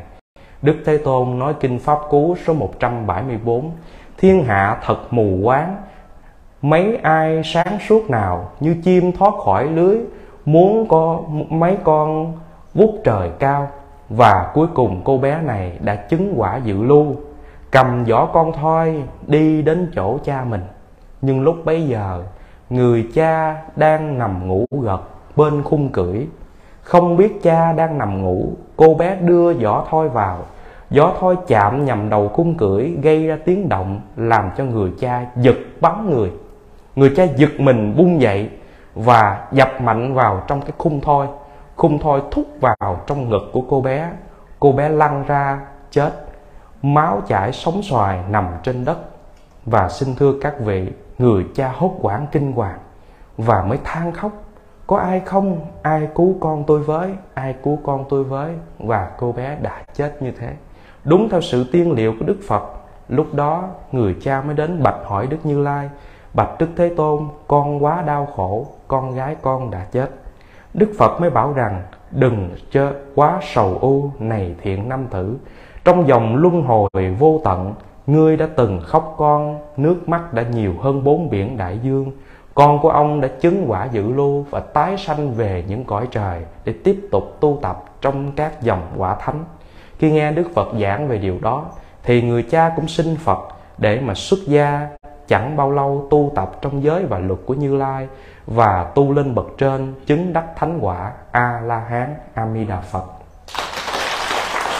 Đây là một câu chuyện trong Kinh Pháp Cú số 174 để cho chúng ta quán niệm rất nhiều về trường hợp của một cô bé nhỏ, chứ không phải là một người giai cấp cao hay một dạng học thức nào cả, mà là một cô bé nhỏ mà chân thành quán niệm về đề mục sự chết trong 3 năm. Và cuối cùng với một cái chết rất là an nhiên tự tại. Gặp một kiếp nạn nhưng mà với cái quả chứng của mình thì tái sanh về những cái cảnh giới lành. Để chúng ta biết rằng cuộc đời chúng ta chưa nói được lên gì cả. Và xin thưa các vị có trường hợp ở bên à, Sài Gòn đó có một cái nhóm Phật tử họ đi phóng sanh họ đi phóng sanh. Và xin thưa các vị thì khi phóng sanh như vậy không biết họ để những cái ghe cá đó nó bị nhiều quá hay sao? Hay là họ không có xem cái kích cỡ cái ghe? Và họ đem lên họ để như vậy. Và họ livestream họ niệm phật đồ vân vân mà lớn tiếng để chuẩn bị thả cá. Thì ra chưa được đến giữa dòng nó ghe nặng quá. Ghe nặng quá và trong khi họ đang cầm cái máy livestream như thế này nè. À, và xin thưa các vị bây giờ cái đoạn clip này vẫn còn ở trên mạng đó. Là hô tán loạn và ami đà phật ami đà phật nhưng chìm là vẫn chìm. Vì hiểu không ạ? À? và chìm là vẫn chìm thôi và xin thưa toàn thể các vị và lúc đó cái đoạn livestream là giống như một cái một những trong những cái hình ảnh cuối cùng và họ còn hiện diện trên cuộc đời. Và trong cái tiếng niệm phật và họ vẫn ra đi. À, xin thưa các vị cho nhiều người không hiểu. Và nhiều người mới hỏi rằng ủa tại sao kỳ vậy? tại sao đi phóng sanh mà không được phước? Mà phóng sanh mà tại gặp kiếp nạn như vậy? Và thế thế thì xin thưa toàn thể tất cả các vị chuyện đó bình thường. Phóng sanh là gieo phước đời nay còn mình đâu có biết cái nhân gì mình gieo từ quá khứ. Có phải không các vị? Và đó là cái điều mà chúng ta phải càng vững tin với nhân quả. Chứ hãy gặp bất kỳ một cái bất trắc gì là mình càng quay lại mình mất lòng tin với nhân quả là càng tệ hại hơn. Và thầy nói cái căn bản nhất cũng không có cần phân tích tới nhân quả gì cả. Căn bản nhất là gì? Tức là mình đi trên sông nước mà dùng những cái phương tiện nó không đủ tiêu chuẩn những cái ghe những cái cái cái xuồng phóng xanh nó quá to mà trên một chiếc ghe nó quá nhỏ thì nó quá nguy hiểm chứ đâu cần phải phân tích gì nhân quả gì đâu. Phải không các vị? Thì xin thưa các vị cái lúc đó ờ, a di đà phật nào cứu nổi không? Dạ thưa không. Dạ, xin thưa các vị mà phật có bay xuống đây là cứu cũng nổi nữa. Tại vì đức phật đã ở ngã ba đường chặn vua tỳ lưu ly ba lần để chém giết dòng họ thích ca. Nhưng có chặn được không? Không. Vì phật tri ức kiếp kỳ sanh tử sự, bất năng miễn định nghiệp chúng sanh.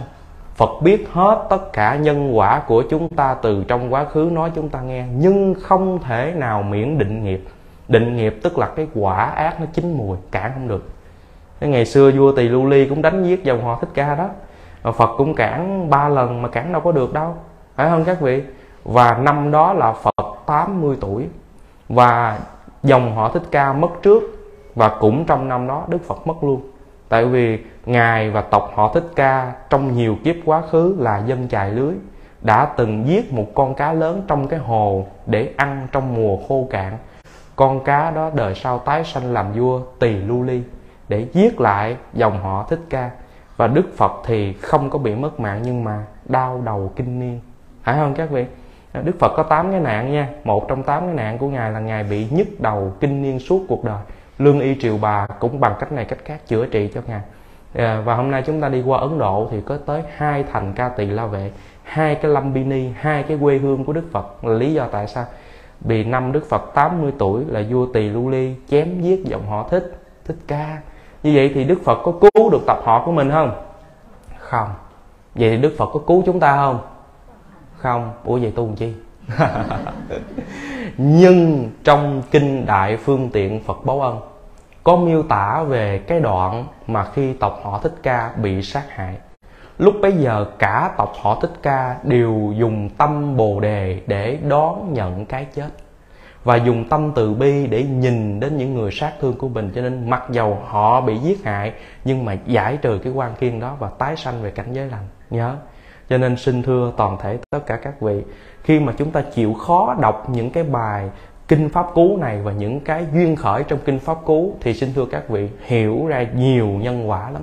Và vững tin với nhân quả, chứ đừng nhìn trên hình tướng mình biết được đâu. Mình chỉ nhìn trong đời kiếp, mình đâu biết. Hồi đời quá khứ, mình có những cái trầm luân chướng nghiệp gì nữa. Cho nên chúng ta sẽ dễ dàng mất lòng tin với nhân quả. Vì vậy, cho nên xin thưa các vị, mình sống trong cuộc thế này luôn phải dùng cái tâm vững tin với nhân quả, vững tin với tam bảo thì chúng ta mới có thể hanh thông và dài lâu bước tới. Còn bằng không á, thì chúng ta sẽ không có chỗ nương tựa.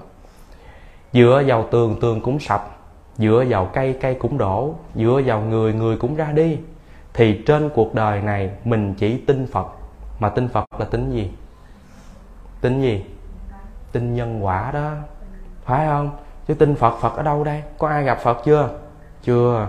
Nhưng mình vẫn tin nhân quả thì lúc bấy giờ mình mới có thể đi dài lâu trong cuộc sống. Đó là bước một. Bước thứ hai, khi mình tin được nhân quả rồi, ung dung tự tại. Và mình có đối xử với những cái người mà không khả ý khả ái, đem đến cái sự khiếm nhã cho mình á. Xin thưa với các vị, mình vẫn ung dung tự tại. Đó là tinh thần của kinh hoa nghiêm, trong tương tức pháp giới. Xin thưa các vị, ngày xưa họ cũng đã tổn thân mạng vì ta hoặc là thương cảm do ta lường gạt tình cảm đối với họ. Hôm nay họ đến, họ kiếm chúng ta, thì chúng ta dùng tâm thái gì? Chúng ta dùng tâm thái đón nhận. Chúng ta dùng tâm thái cho tặng.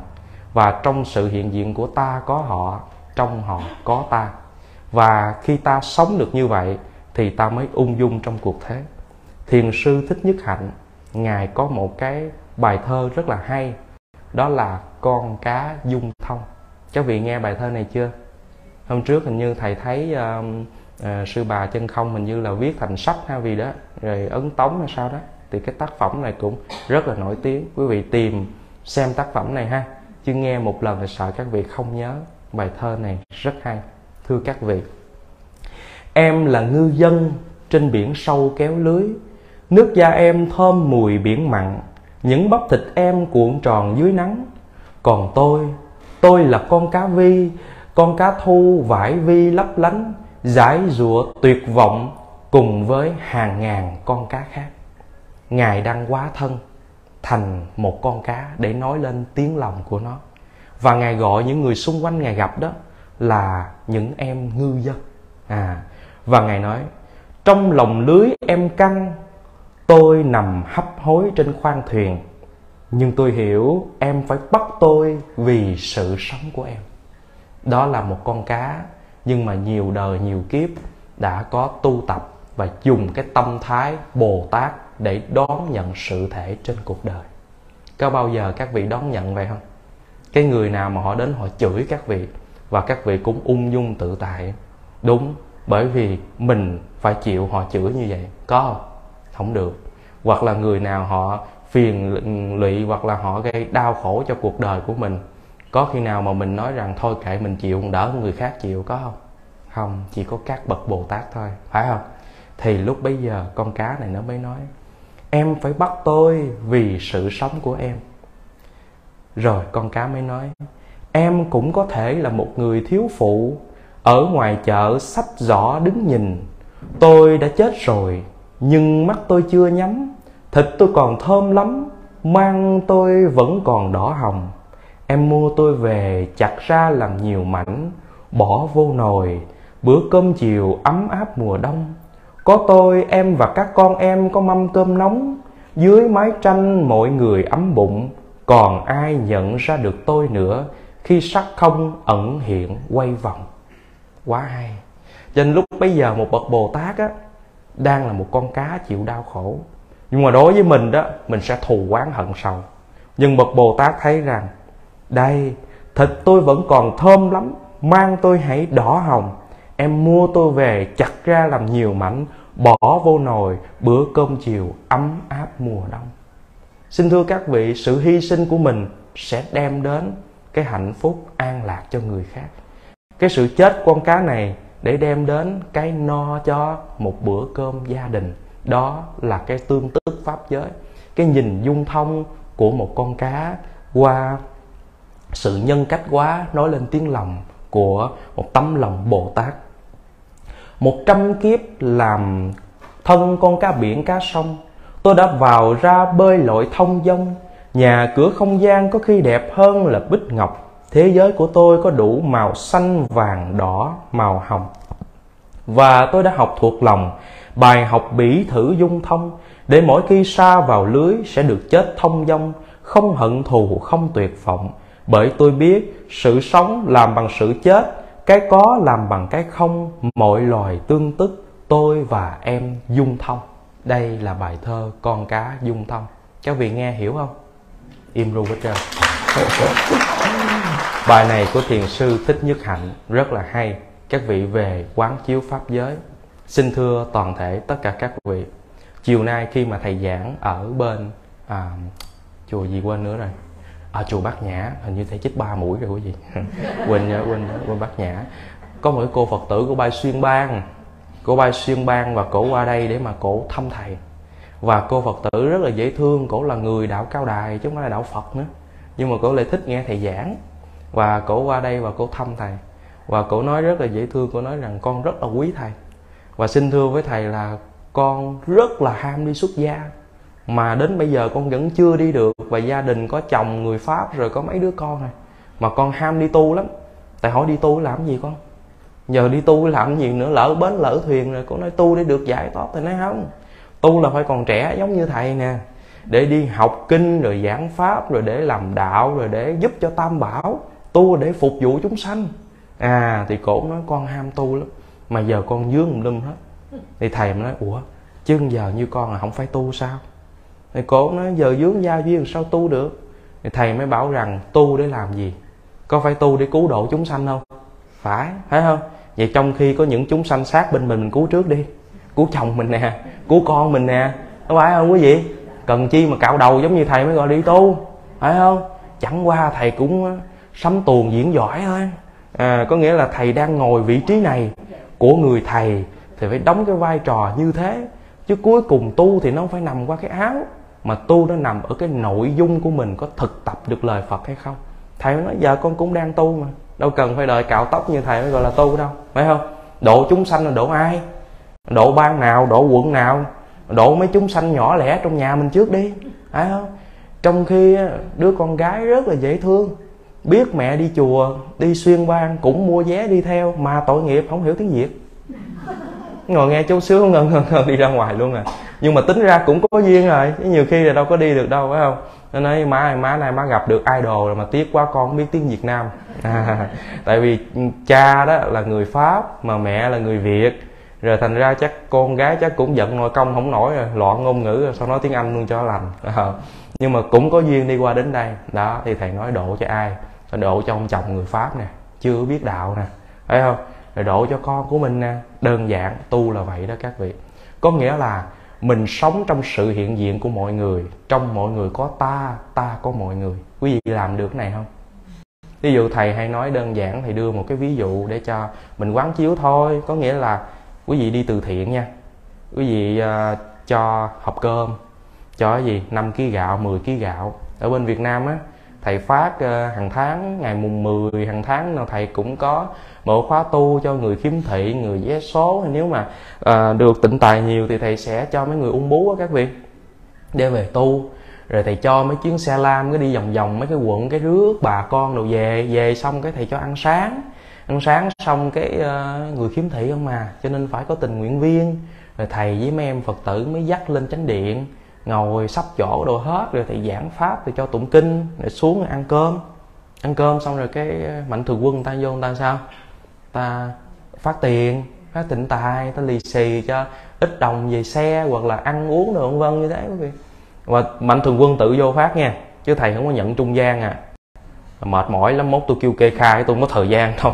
Hầu, tôi tôi quải ba vụ lắm mà tự nhiên đưa tôi đóng rồi tôi phải ngồi tôi chia ra bao thơ nữa. Thôi, thôi, thôi, mệt quá.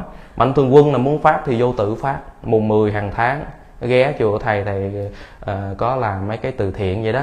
Thì cứ ghé nói thầy ơi nay con bận nè. Thôi con gửi thầy phát giùm con nó thôi đem về. Bận rồi bữa sau vô phát tiếp là tháng nào cũng có hết trơn rồi. Đừng gửi. Mệt lắm thấy không? Vô thầy muốn chi? Gieo duyên cho cái người này nè.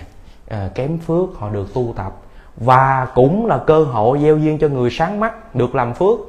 Ví dụ bây giờ quý vị muốn cho người nghèo đúng không? Quý vị cho 100 người ha cho 10 người đi đi 10 con đường 10 cái nhà. Thì hiện giờ á mùng 10 hàng tháng thì gom vô một chỗ. Là 100 người, 120 người, 150 người đến đó mình gieo duyên mình phát ha. Tiền chẳng đổi ra tiền lẻ tùy theo mình bố thí nhiêu thầy cho mọi người phật tử cũng gieo duyên. Vì sao? Vì ai cũng cần gieo phước bản thân thầy cũng cần gieo phước. Và xin thưa các vị khi mình phát á các vị mình cầm bao thơ nè cầm tiền nè dạ à, chú uống nước nghe chú ăn cơm nghe cảm ơn chú nghe cảm ơn chú. Cô phật tử của đi ngang của nói trời ơi thầy lịch sự lịch sàng quá à, thầy cho tiền thầy còn cảm ơn nên thưa các vị giống như là mình như là vơ đét mà mình diễn viên vậy đó các vị thật sự không phải mình cảm ơn thật đó các vị. Lý do tại sao cảm ơn? Ủa? Nếu mà không có người nghèo á, mình phát từ thiện cho ai? Mà không phát từ thiện lấy gì có phước? Như vậy có phải nhờ có những mảnh đời bất hạnh, họ là những đề mục cho chúng ta gieo phước không? Vậy thì khi mình gieo phước, có phải mình là người ban ơn mà họ là người nhận không? Chưa chắc đâu, mình là người nhận đó. Mình là cái người đang nhận phước đó. Còn họ là những người có hoàn cảnh khó khăn và mượn tạm cái đồng tiền của mình để mưu sinh trong cuộc thế. Mình phải cảm ơn họ chứ không phải là họ quay, họ cảm ơn mình đâu. Phải không các vị? Cho nên mà lỡ quý vị đi phát từ thiện mà ai quên cảm ơn mình á, chuyện bình thường. Nhớ nha, nhiều khi người ta đi lãnh quà từ thiện, trưa trời nắng, người ta cũng mệt mỏi, người ta quên, thôi quan hỷ. Nhiều người đứng phát từ thiện không tiện giật lại.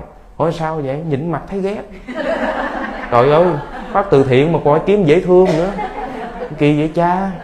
Phải không? Dễ thương rồi thôi đi coi phim đi. Chứ từ thiện còn những mảnh đời bất hạnh không mà rồi thậm chí có nhiều khi từ thiện ta hoành ra hoành vô, người ta dành hai, ba hộp cơm. Mình cũng nạt nộ người ta, trời ơi, người ta ăn được mừng. Phải không quý vị? Rồi nạt nộ tưởng sao?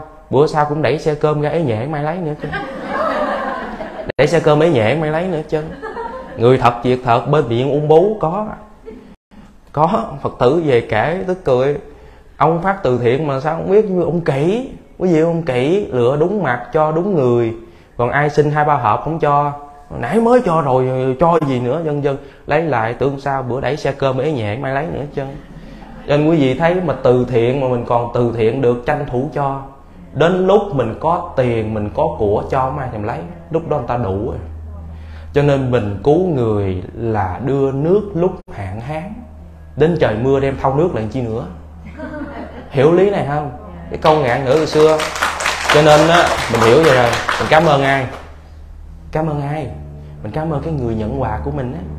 Không phải là mình cứ mình cứ bắt người ta cảm ơn mình hoài, mình phải thấy sự dung thông. Con cá dung thông nè. Con cá dung thông nè. Như vậy thì, nếu mình không hiểu á, mình thấy khi mà mình bị tổn hại trong cuộc đời, mình bị xúc phạm danh dự, mình khổ não, mình sầu thương nhân dân á, thì mình quán hờn, phải không các vị? Nhưng bậc bồ tát á, khi mà ngài là một con cá, thì ngài thấy như sao? Trời ơi, sống đời con cá đâu ích lợi gì đâu đời con cá là một đời súc sanh đau khổ mà phải chìm trong gì? Ờ, à, lông da dãy sừng phải không các vị? Được một cái người thiếu phụ này vớt lên xẻ thịt nấu cho con của họ ăn. Thì sao? Đóng góp cho cuộc đời được một bữa cơm ngon cho một gia đình này và con cá này. Nếu như hiểu pháp thì nó cũng giải thoát luôn. Cái gì hiểu chỗ này chưa? Cho nên bài con cá dung thông này sâu sắc lắm. Cho nên quý vị ơi bây giờ trong đạo tràng này có bao nhiêu người chồng cùng ở với mình chung tình đến giờ? Giơ tay thầy coi coi. Rồi có bao nhiêu gia đình mà gặp người chồng phản bội? Giơ tay thầy coi coi. Rồi bây giờ cái ông chồng chung tình với ông chồng phản bội đó, mình tuyên dương ông chồng nào? Cha này khó à nghe. Không biết có bị gài gì không nữa, em ru và đủ mình tuyên dương chồng nào đây?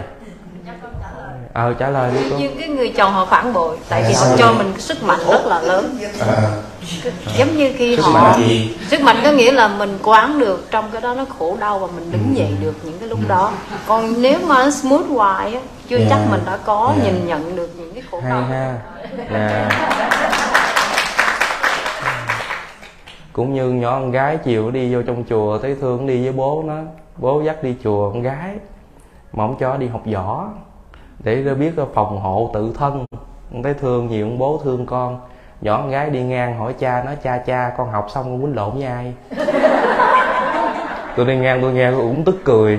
Tôi thấy cũng vui vui. Ông bố thì thương nhỏ con gái. Gán học võ đi, đặng mày tự phòng hộ cho bản thân mày tự vệ sợ con gái ra đường người cha thương con nhỏ con gái đánh đưa cầm tay cha cha cha ăn học xong mốt quýnh lộn với ai.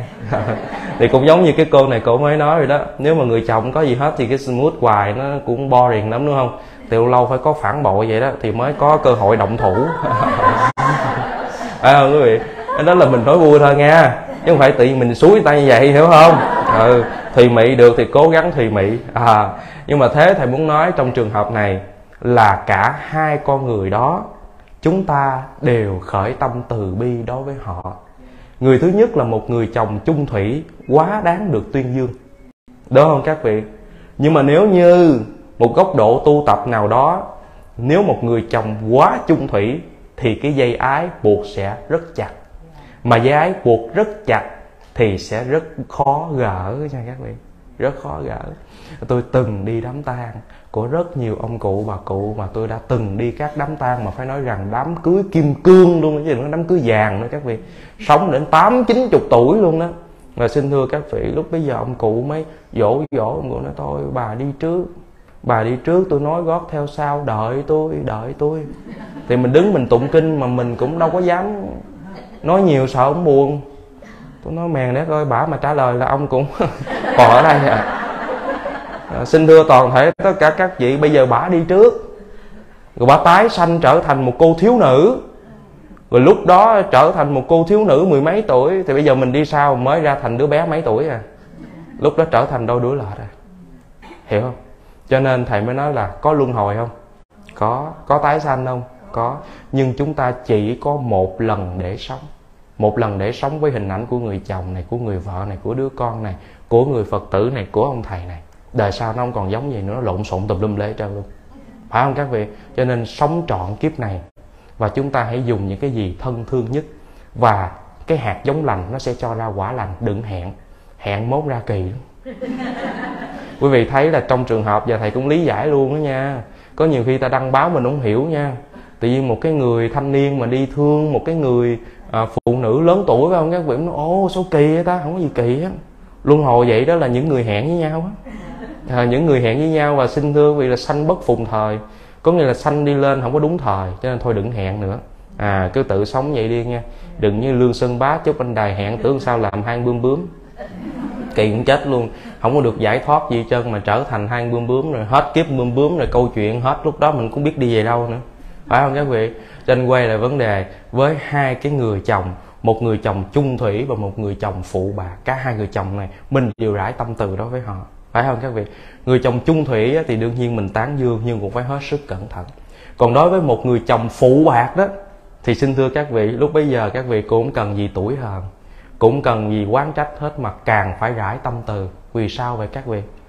Vì đêm các vị đang nằm chung với con của mình và ngủ ở một cái tổ ấm, ở một cái gia đình rất là hạnh phúc, thì ổng cũng phải lén lén lén mưa nắng giải dầu, ổng đi kiếm những cái mối tình bên ngoài của ổng cực khổ lắm quý vị mà cái gì lén lén thì không bao giờ mà nó được êm đẹp giống như mà danh chánh ngôn thuận hết á. Mà tại cái nghiệp của người ta như vậy nên người ta phải đi kiếm, phải không các vị? Và nhờ có những cái sự dụng dở trong tình cảm, mình sẽ tiến đến con đường tu tập nhanh hơn. Có phải không các vị? Đó là lý do tại sao khi đức phật giảng về cái đề mục của sự chết này nè, thì cả một cái ngôi làng, một cái ngôi làng đó tất cả đều phải nói rằng không ai thích hết trơn rồi, không ai tập trung hết á và xin thưa các vị là bởi vì không ai thích cái chết hết. Nhưng mà cuối cùng khi cái chết đến bất thình lình, thì chúng ta lại ra đi trong một cái sự bế tắc. Còn một cô bé nhỏ này à thực hành cái đề mục chết vậy đó, xuyên suốt 3 năm mà tái sanh về cảnh giới lành. Các vị thấy chỗ này chưa? Cho nên đó là cái lý do tại sao mà trên cuộc đời này chúng ta quán chiếu cái sự thuận hay sự nghịch đến bên cuộc đời ta, nó đều tương tức pháp giới, dung thông nó đều có cái lý do phải đến của nó. Chứ đừng có quá là mong cầu cái gì nó cũng thuận lợi thuận lợi thuận lợi. Thì cái đó nó không phải là cuộc đời. Nhớ nha các vị. Và thầy đã từng giảng một cái bài giảng ở ờ, quận 5 mới vừa rồi đó. Không biết quý vị có nghe cái bài giảng đó không? Ờ, bài giảng mà xí xô xí xào á, ở cái quận 5 Sài Gòn mà nói tiếng Quảng Đông á. Không các vị? Là ở đó cái khu người Hoa. Nói chơi cho vui thôi, chứ thật sự ra em cũng biết tiếng Việt thì nói chưa rành nữa quý vị ơi. thì nói cái bài giảng đó là để thầy mới nói về vấn đề gì?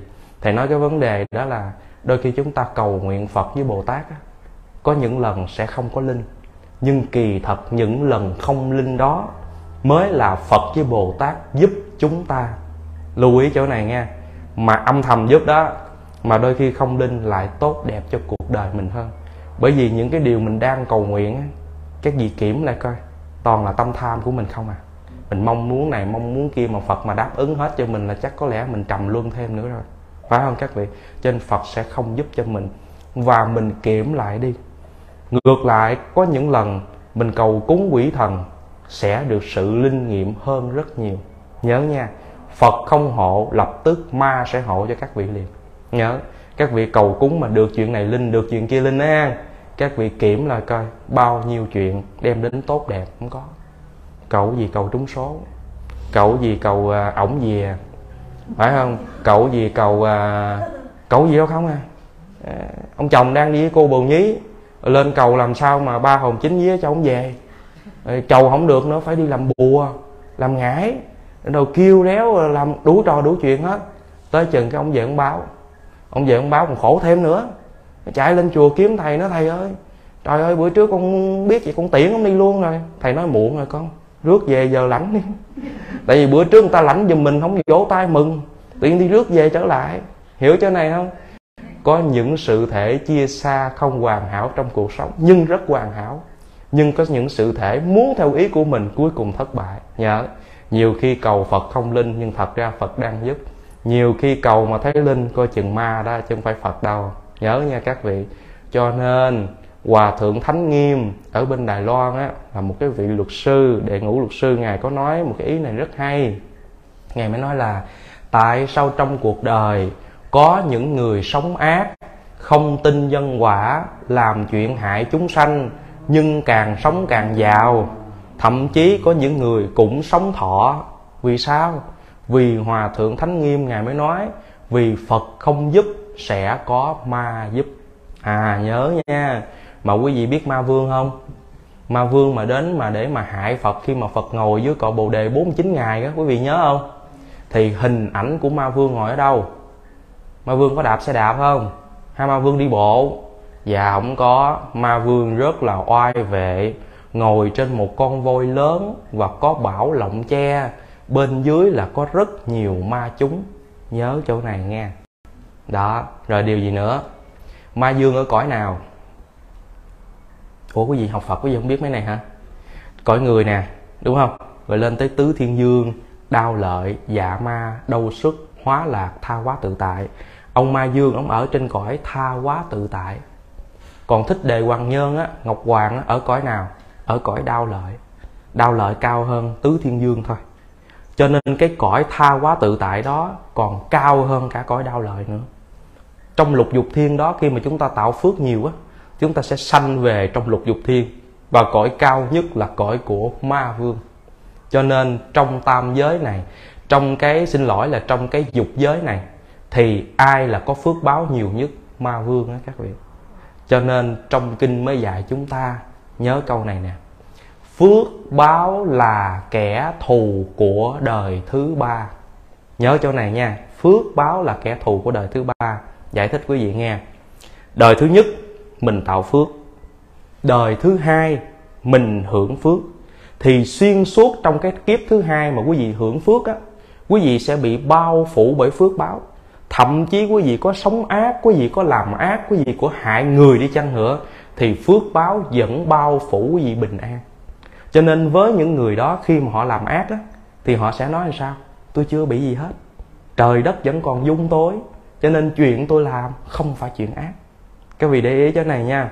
Và phước báo của đời thứ hai do cái dư nghiệp của đời thứ nhất sẽ bao phủ và giàu cho mình, có sống ác gì cho nữa mình cũng xảy ra chuyện gì hết á. Và mình trải qua kiếp thứ hai đó một cách rất bình yên, chết rất là êm ấm, rất là tốt đẹp là do sao? Dư âm của cái phước đời thứ nhất. Nhưng đâu biết rằng cái nghiệp trong đời thứ hai mình gây tạo như vậy nè, và không có điểm dừng, nó kéo qua đời thứ ba thảm sầu luôn cho nên quý vị đọc trong những câu chuyện nhân quả như sư hình đoan, mới đời trước làm một bà hoàng hậu, qua đời sau làm kỹ nữ.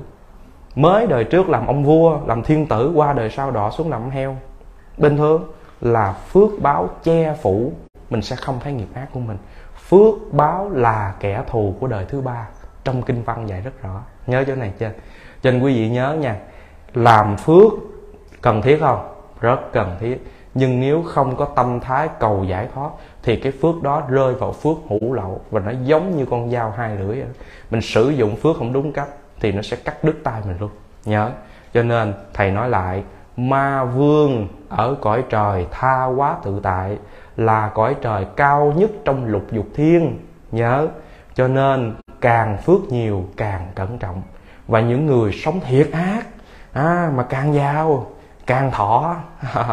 đơn giản thôi, phước họ nhiều lắm, phước họ nhiều lắm, cho nên bao phủ che luôn cả cái nhân ác bây giờ, không có đề phòng. Khi mà đến đời sau trổ ra, khủng khiếp. Phước báo là kẻ thù đời thứ ba. Chính vì vậy cho nên xin thưa các vị, sống một cuộc đời không quan trọng giàu, không quan trọng nghèo. Ha, không quan trọng xấu, không quan trọng đẹp. Tất cả là nhân quả đời này đời kia vậy thôi. Quan trọng là có giải thoát hay không nhớ chỗ này quan trọng nha.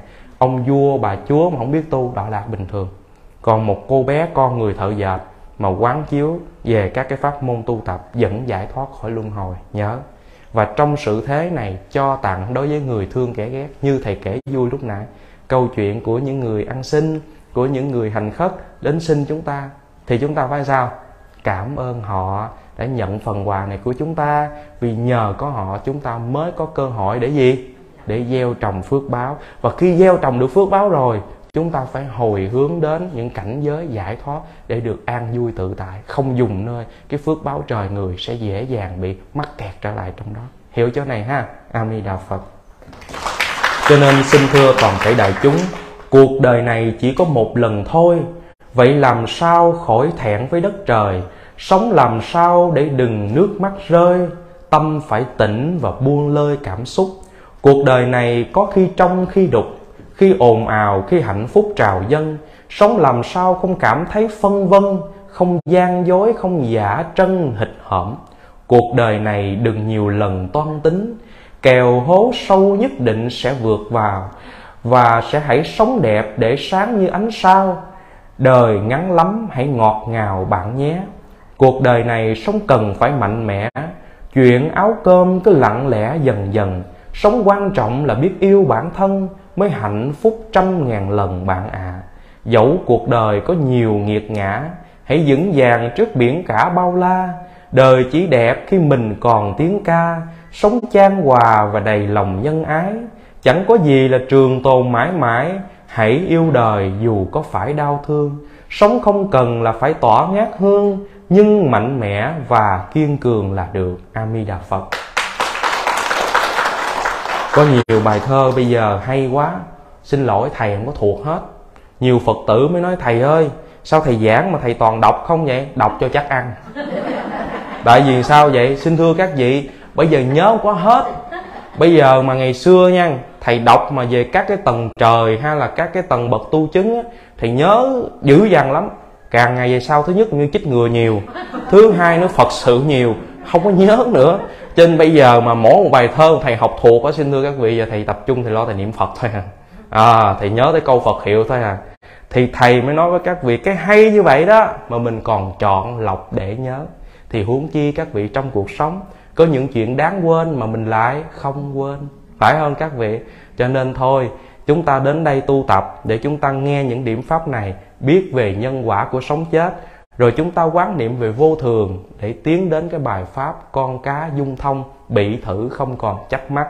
Ta người đến đi như dòng sông nước chảy. Gặp nay thôi, không biết ngày mai còn hay không nữa. Hãy xem nhau như là làn sương khói trắng, thoảng vào cuộc đời ta, chứ không phải mỗi chuyện mà mỗi lăng tăng phân dân, thì chúng ta sẽ rất là trộn rộn trong cuộc đời. Hôm nay thầy cứ đến đây mà giảng hay một chút thì quý vị vỗ tay, mà quý vị không thích đi chăng nữa thì im ru ra về, phải không các vị? Thầy thầy về việt nam, rồi quý vị cũng về nhà các vị. Đâu có ai dưới mắt gì ai đâu, phải không các vị? Trong cuộc đời cũng vậy nha. Đi chùa, gặp người nào thích ý, hỏi nhiều, nói chuyện nhiều một chút. Gặp người nào không ưa, thôi, niệm phật hồi hướng cho người ta nhẹ nghiệp. chứ không phải mà mỗi chuyện đi mỗi chấp mắt mỗi chuyện mỗi chấp mắt. Gì hiểu ý thầy nói chứ? Đó mỗi người tự tạo một cái thế giới riêng cho mình. Thế giới của mình đem đến an lạc cho người khác nên mở cửa. Còn mình mở ra toàn là xả dao đó các vị. Còn đây là xả dao không mà à, ờ, ghê quá. Cho nên là mình close xuống đi mình khỏi có mở ra nữa. Phải không các vị? Đó là những cái điều mà chúng ta cần phải quán niệm trong cuộc sống. Nhớ nha cứ nhẹ nhàng mà sống, trời xanh khắc an bài. Hôm nay sống thật tốt, vì biết đâu ngày mai. Cứ bình yên mà sống, đừng so sánh hơn thua. Học cách chấp nhận đủ, bởi biết mấy cho vừa. Cứ mạnh mẽ mà sống, khó khăn là lẽ thường. Sau một lần vấp ngã, rồi lại trưởng thành hơn. Cứ vui vẻ mà sống, yêu bản thân thật nhiều. Đừng bận lòng kẻ khác vì đời có bao nhiêu cứ bình tâm mà sống từ những điều giản đơn đừng mãi mê tìm kiếm hạnh phúc ở cạnh bên. Hãy sống như cây cỏ dẫu thấm hết sự đời vẫn an nhiên tự tại vẫn thản nhiên xanh tươi. Amida phật. Thôi chúc cho quý vị mấy điều tốt lành. À, trong lần đầu tiên gặp gỡ à, chúc cho quý vị nghe để chuyển hóa được thân tâm. À, giàu giảng hay hay giảng dở thì bây giờ cũng lưu lại những niềm hạnh phúc an lạc. Chứ còn bây giờ kêu lặp lại có ai nhớ gì đâu. Thậm chí giờ tôi nói tôi còn không nhớ tôi nói gì nữa phải không các vị? Cho nên quan trọng là không phải ở cái lời văn mà quan trọng ở cái năng lượng truyền tải cho nhau phải không? Chứ giờ hỏi nãy giờ tôi nhân giảng gì tôi còn không nhớ nữa sao hỏi quý vị mà lặp lại lời tôi? À cho nên là đừng quan trọng chắc mắt cái lời nói ổng có chửi láp giáp bả có chửi láp giáp kệ còn ngồi ăn cơm chung là được. Phải không các vị? À, quan trọng là cái năng lượng mình tỏa ra cho nhau. Nhiều khi chửi chửi vậy đó nhưng mà mình cảm nhận được tại vì có thương có lo cho nên mới có có chửi. Chứ còn nhiều sự im lặng đáng sợ vì lúc đó người ta đã lạnh nhạt và không còn nghĩ cho nhau nữa. Phải không các vị? Thôi các vị nghĩ ha em đạo phật. Rồi mấy lời gửi đến các vị trong lần đầu tiên đến Nam Cali và trong một uh, chuyến lưu giảng mà xin thưa các vị là ngủ nhiều hơn giảng. Tại vì cứ đụng vào cái những ngày lễ không mà các vị cho nên chuẩn bị ngày mai tôi ngủ tiếp.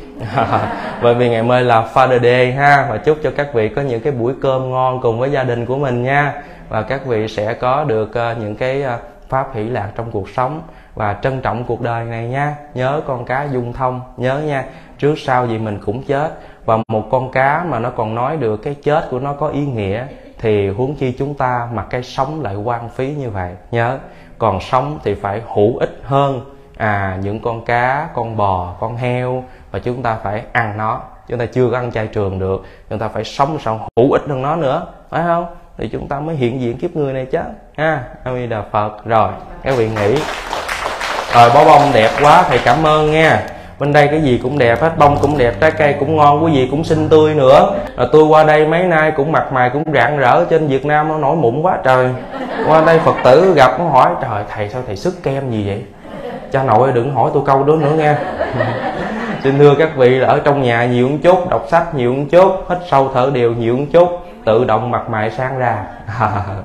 Thầy mà có đi làm ờ, cu ly thợ hồ cực khổ, nhưng ta thầy cũng đen thôi à, cuộc đời đen trắng quan trọng quan trọng là có giải thoát hay không? À nhớ không quý vị ha. A phật.